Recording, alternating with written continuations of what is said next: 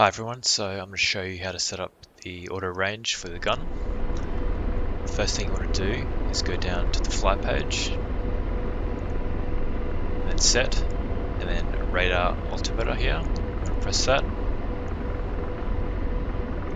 Then back to the weapons page, and manual range. On A for automatic. Now it won't work because we're too high, so we need to drop some altitude.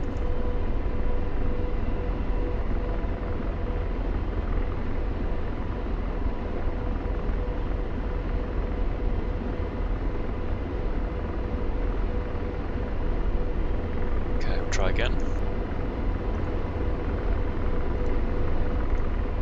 And now it's working. If you change weapons, it'll reset. So it's reset, and then you just have to do it again.